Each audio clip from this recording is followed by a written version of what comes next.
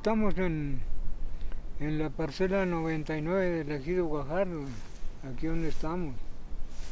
Y luego sigue la 100 y la 101 y la aquí por este por esta área que le nombran las parcelas. ¿De quién es la propiedad? O sea, de- del- el gobierno la compró y nos la entregó al grupo, a, a la sociedad, para plantar maguey. Y eso, pues, ahorita no se ha borrado. el- se pasó el convenio y todas esas cosas, pero pues nosotros seguimos aquí, ¿En qué año fue esto? en el 2003, ¿Y cuántas plantas se trajeron? 14 mil, ¿De dónde? de Zenguilocan Hidalgo. Se pusieron las 14 mil aquí. Sí. Bueno, los trailers los trajeron hasta ahí, hasta el mesón nomás. Y de ahí la subimos en un, en un camión de, de 8 toneladas que nos prestó la Narro. Hasta la última planta acarreamos aquí. Porque plantamos mil plantas por hectárea. Y pues sí, tuvimos un...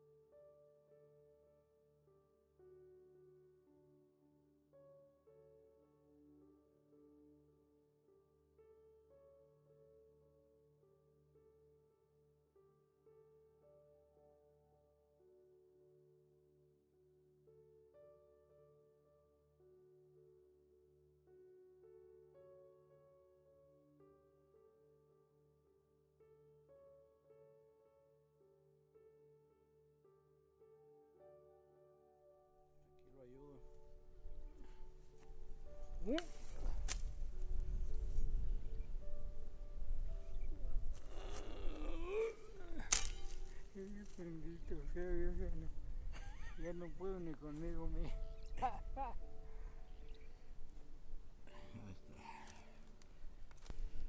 Pues es que se viene por lo más difícil. ¿Dónde? Se viene por lo más difícil. Ah, como decía un dicho allá con los antiguos, el burro viejo buscaba las incomodidades.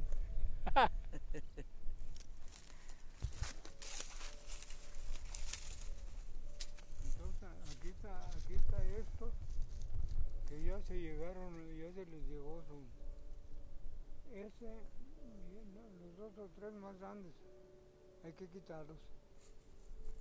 Porque si no van a o no dejan desarrollar los otros.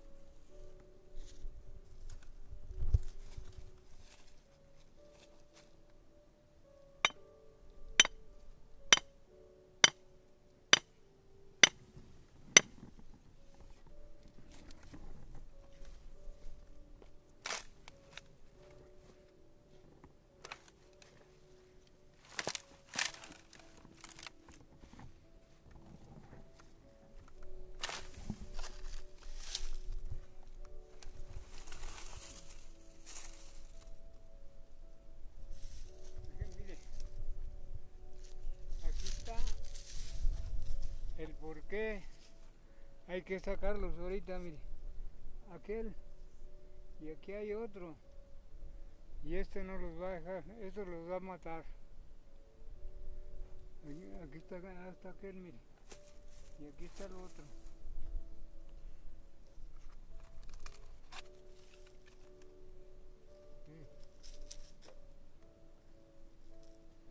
Esos no tienen vida. Si no los apoya la mano del hombre.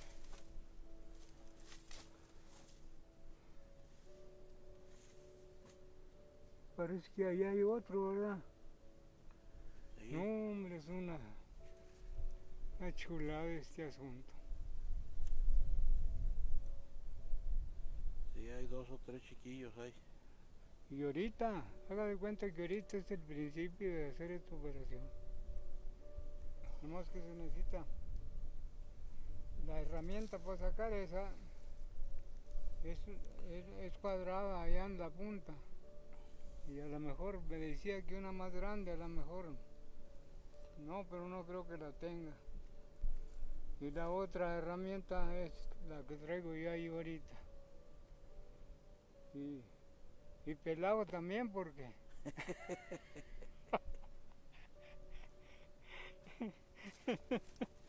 no, hombre, ya no. Ya ni para novio siquiera, imagino.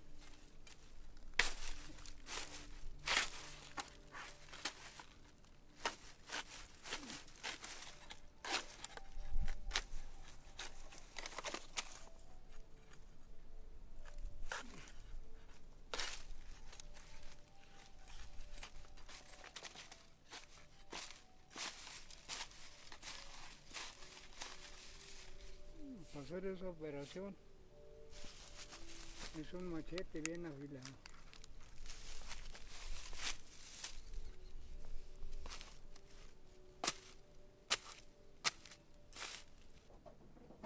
¿Y este me lo va a regalar? No, pues si lo quieres, sí. Pues no tengo, ya lo, a la Ah, bueno, lo lo puede, lo puede, lo puede resucitar. ¿Mande? Lo puede resucitar. ¿Cómo? Le saca filo. Ah, no, eso es facilísimo. Ok. Este corte es muy efectivo, pero cuando lo atina uno y para saber de, de dónde va el corte, ahí va a estar cañón. Ni el mejor técnico. Cuando le, cuando le, cuando le atina a uno, licenciado, lo sienta, lo planta y echa una coronota de raíces. Y cuando le falla, nomás echa unos pelitos por un lado o por otro y pierde un buen porcentaje de desarrollo. La verdad que para no equivocarnos sería sacarlo con todo, pero también pierde poco, pero también pierde desarrollo. Si no le hace uno la, la cortada. Debe de haber como unos pues si no me equivoco, debe de haber como unos ocho de esos que se van a perder. Si no se le hace lo. Nomás quita, ya, ya todos esos ya los puede quitar uno. Para salvar los que vienen ahí.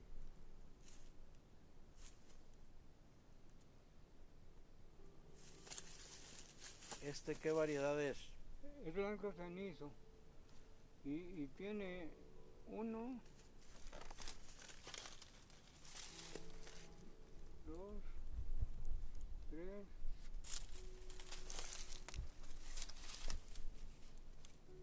cuatro, cinco, seis, siete, ocho, nueve.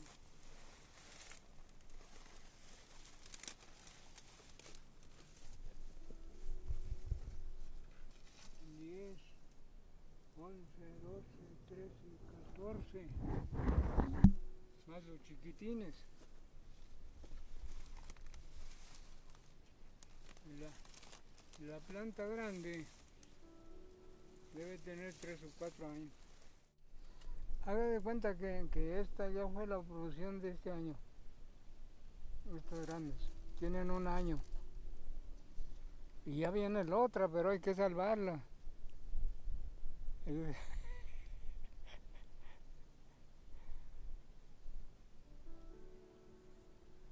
No está fácil.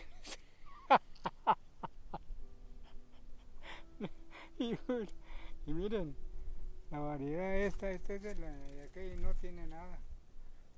Es flojo para llegar. Un día tiro huevones, miren, no tiene nada. Y sé que no hay ni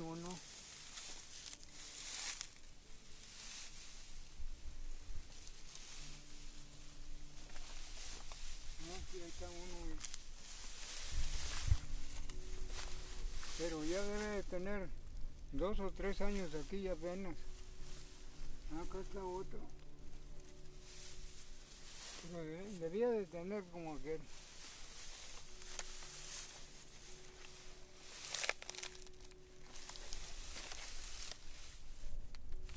Fíjese, son más o menos son de la misma edad. Y ese no tiene nada. Este fue uno de los fracasos fuertes que tuvimos ahí.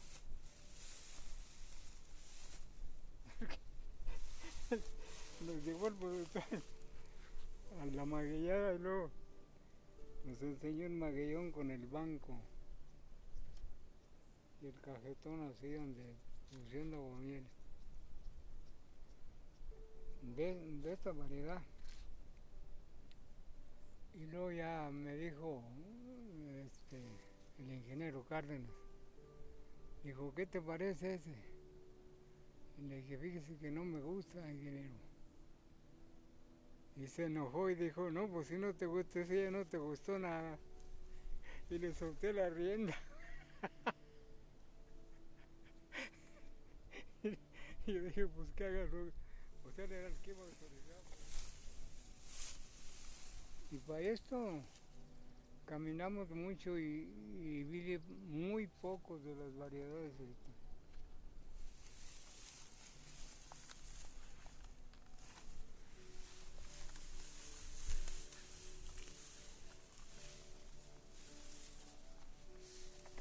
Entonces e- esa es una buena evidencia para reportarla, oiga. ¿Cómo distingue el blanco cenizo? ¿Qué características tiene? Eh, En el, lo, se lo distingue en el, distinguimos en el color. Y en lo en estas curvas que tiene aquí. Porque no, no este aquel es el cuerudo mire no tiene el color y este es otro blanco cenizo. Y cuando los cuando los planta uno así como los plantó Toño así cercanos este sube el color y aquel lo baja y en parte se pueden confundir. Pero no a mí a veces me están acabando mis ojos pero todavía no me hacen tonto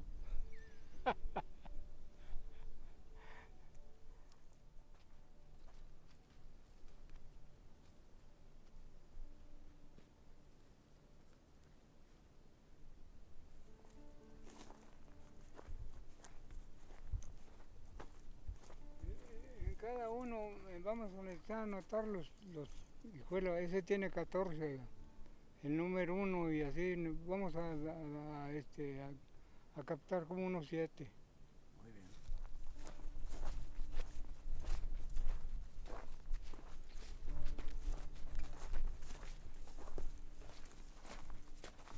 este, este ya mató muchísimos porque estos tienen dos años ya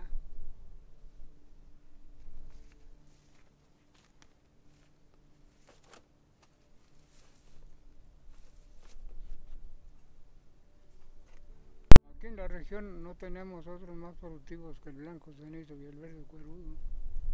Estos son los reyes del desierto. Pero se están perdiendo. Están, están por extinguirse definitivamente.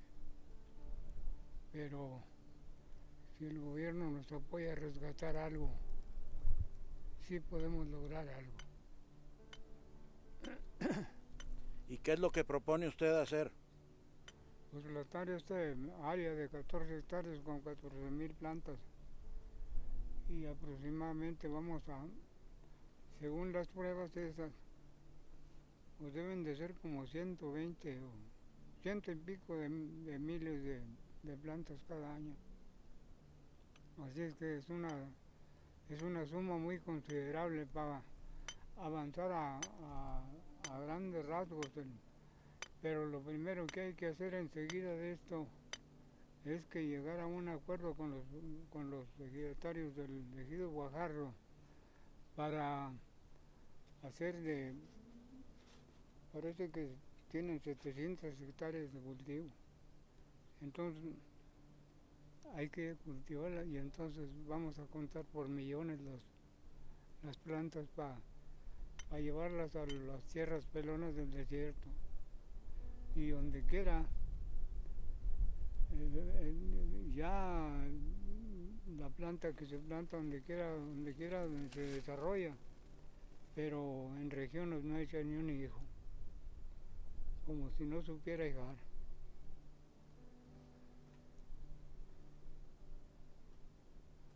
Pero sí, a largo plazo se supera muchísimo. Es una, no hay otra cosa igual para la gente del desierto. ¿Y de dónde sacamos las plantas para estas 14 hectáreas? Sí hay.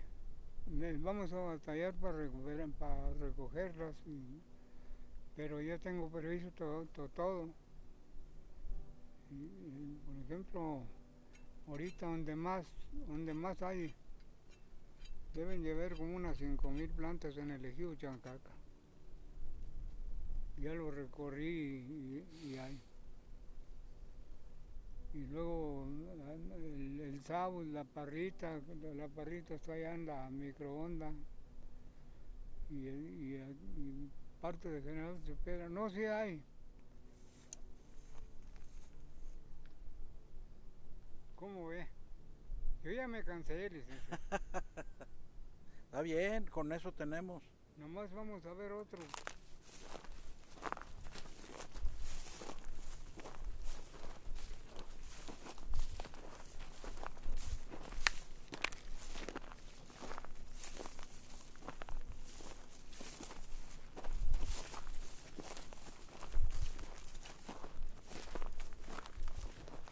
Nomás vine- en en de que nos dieran apoyo económico.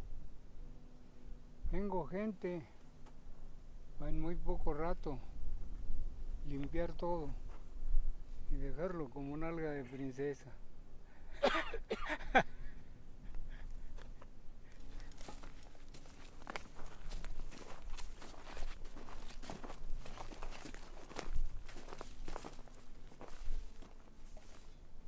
Ese está al 100% maduro para el aguamiel. Y, y, bueno, quién sabe, pero yo calculo una cosa, licenciado, que después de tener poca atención a partir del poco cultivo, aseguro que está produciendo, si no parejo, está produciendo por todas las parcelas del ejido Guajar.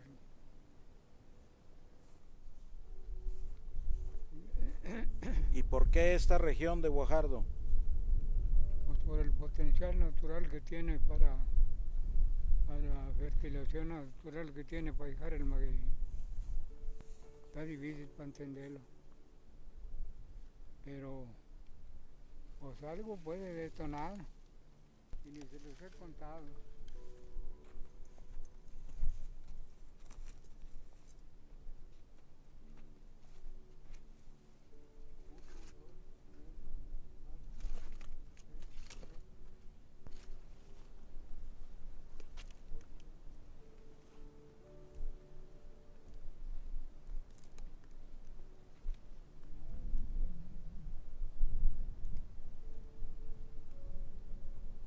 Tiene 11 licenciado. Además de los 18. Ya una vez que se le descubrió todavía va a aventar más. Y, esa, y esa poda se hace en, este, en este mes, en el mes más propicio es el mes de enero. Y, en febrero se le hace otra, pero más leve que esa, esa, esa la, me fui grande, era más poco. Quiere decir que con las cinco o seis hojas están las mochas hacia arriba, no debía de verselas, no debía de verselas quitado. Y lo, y lo que tengo plantado está entre el pasal, pero si quiere van, vamos a ver, Sí. está tapado con el...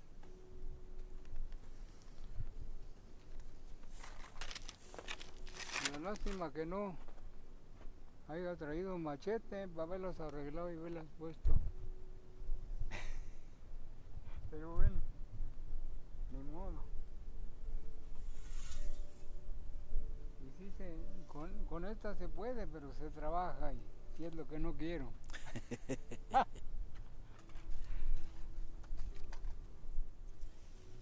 Cuando yo conocí la producción del aguamiel, este maguey daba 10 litros y ahorita da 5. Es, la, la- es el medio ambiente la contaminación que los ataca. En, en los primeros años que me dediqué al maguey todavía hubo uno que dio 14 litros. Y de ahí se fue bajando y ahorita. Este, seguritamente en aquel tiempo eran 10 litros.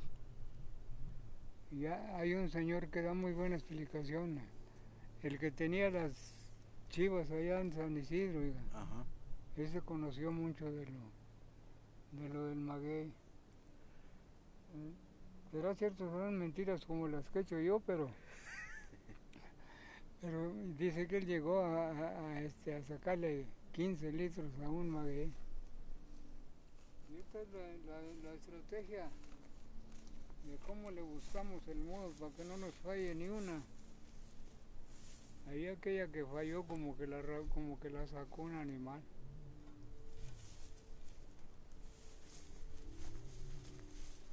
Ah, pues usted vino, usted vino con la plantación de, de esa otra variedad, que se aventaron casi no, casi no falló ninguna cuando plantamos, Se fueron recios, pero luego llegaron las manos asesinas de los funcionarios y bolas, hijo de su madre.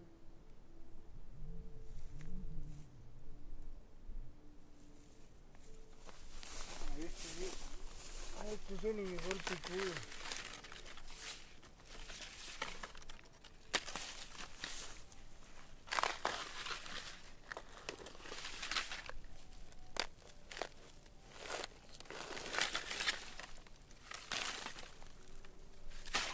Con toda, con toda precaución hay que buscarle, porque hay veces que hay un puño de larvas así, pero duras, oiga, no las puede uno machucar fácil.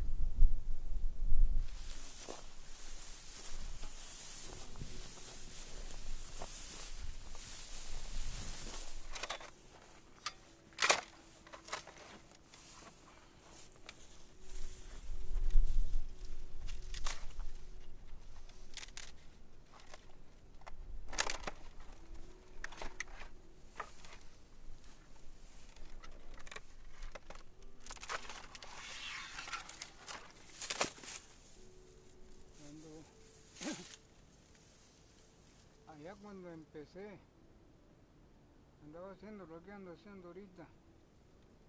Y se me enterró toda. Aquí toda la espina. Este pero qué, qué fuerte es el cuero de uno oiga. Fíjese donde le, le- donde le di el tirón así porque se me enterró. La quebré de aquí fíjese y se quedó adentro.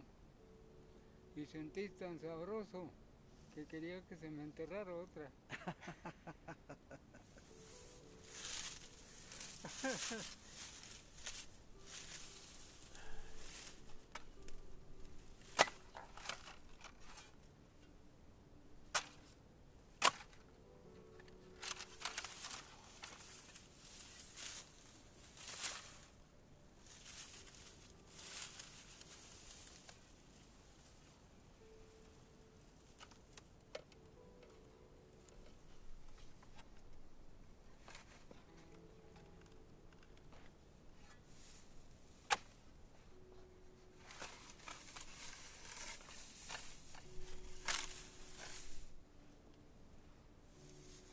Y Nos decía mi papá cuando estábamos chiquillos,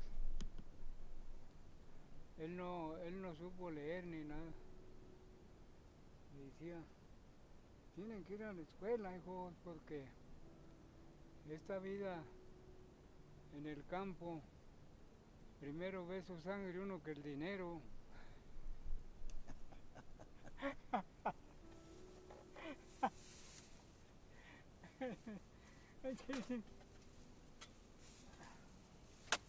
Y luego, ¿por qué no le hizo caso?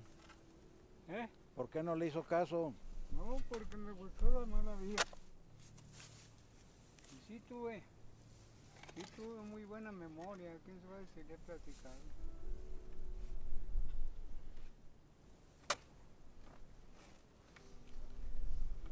Pues mire, se ríen de mí las hojas.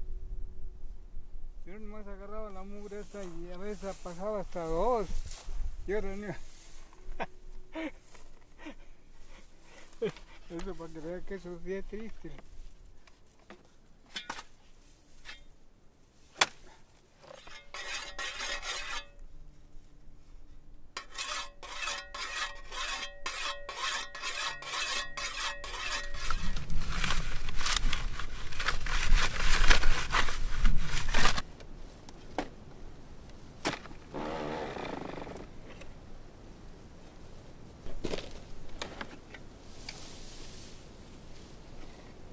Yo creo que así, oiga, que vamos a suponer, es muy posible que, que el primer año de producción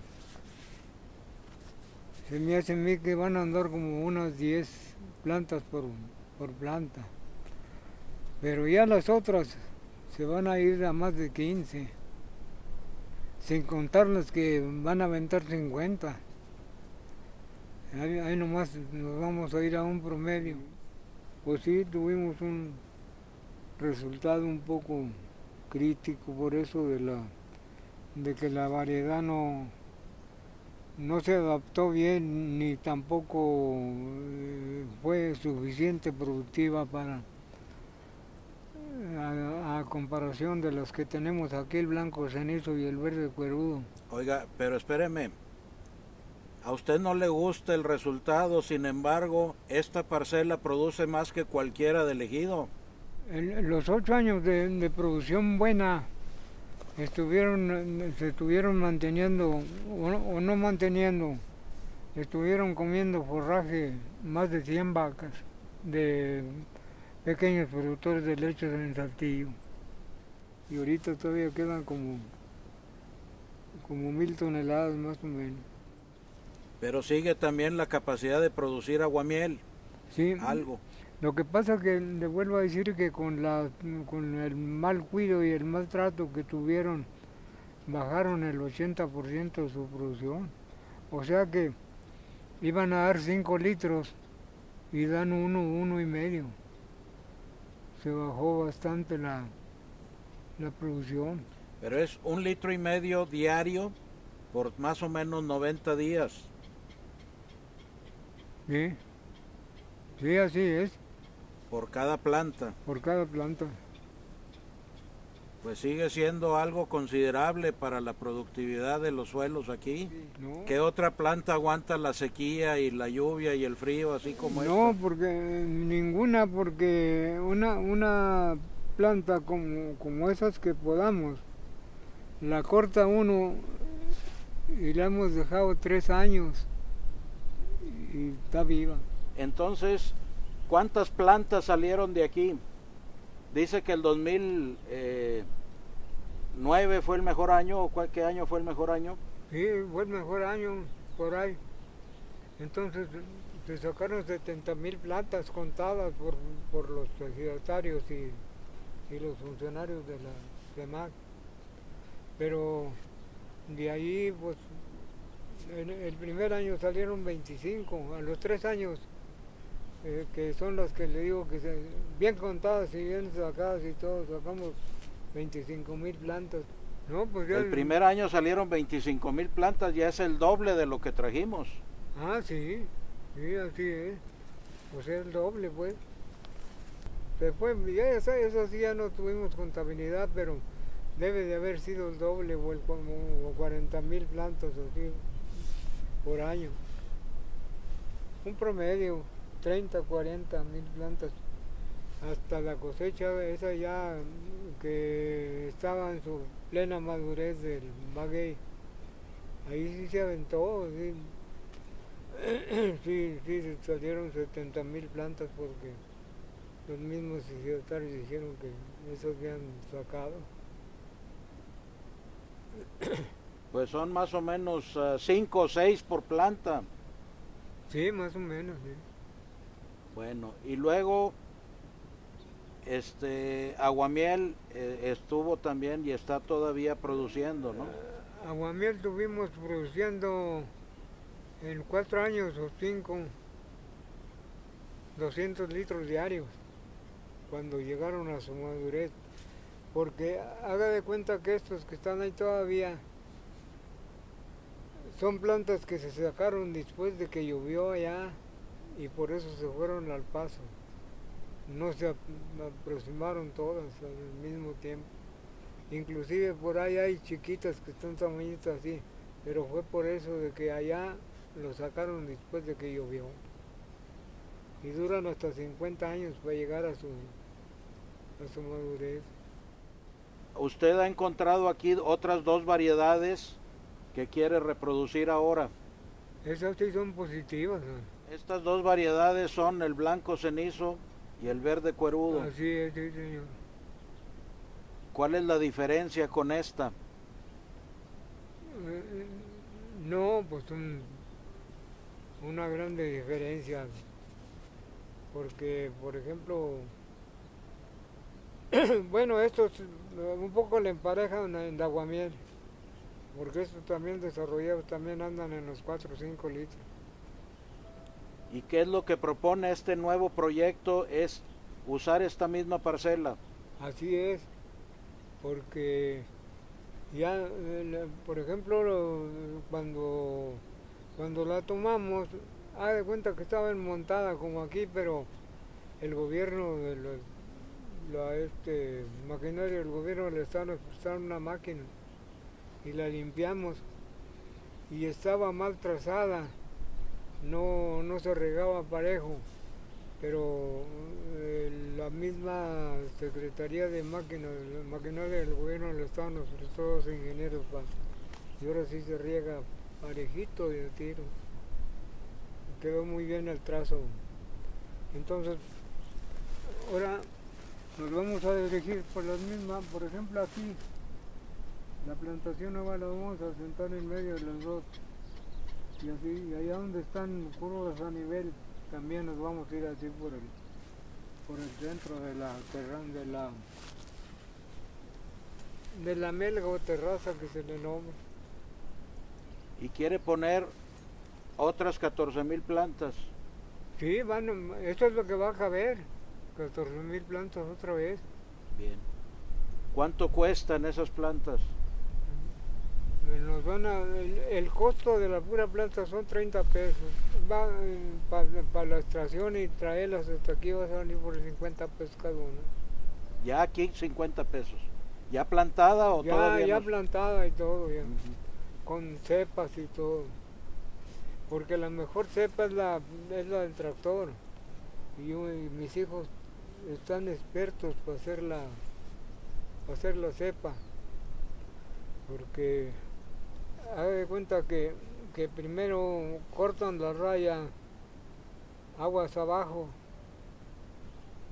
y luego en la otra vuelta se vienen agarrando con el disco que viene sobre la que se hizo primero y le abren para allá y queda profunda la, la cepa.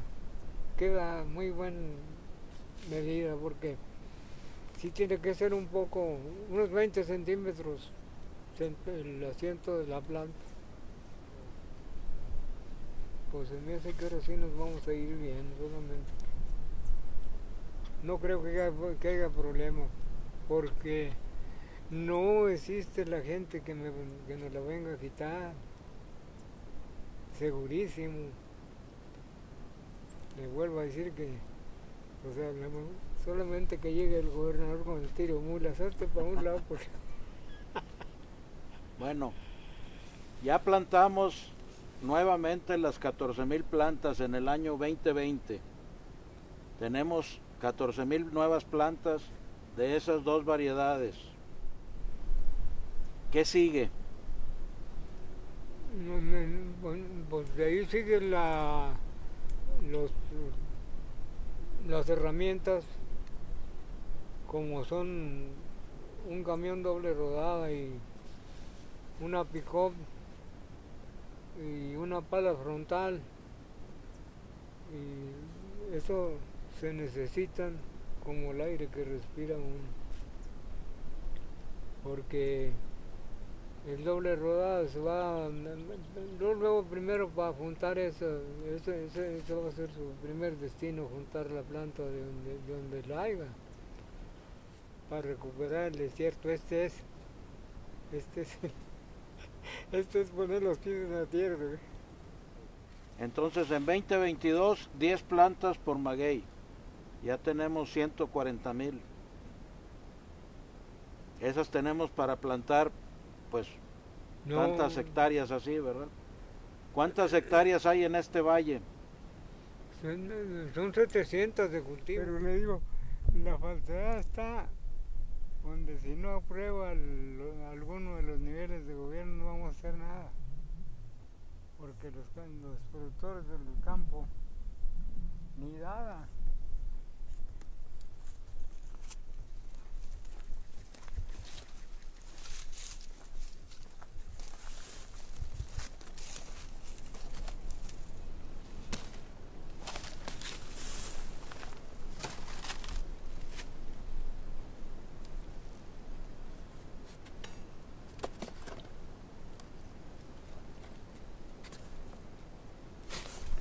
Tengo, tenemos producción de abomiel de 100 litros diarios por todo este año que entra. Así es que ni vamos a seguir haciendo la lucha de la parcela. Y nadie, nadie nos la va a quitar.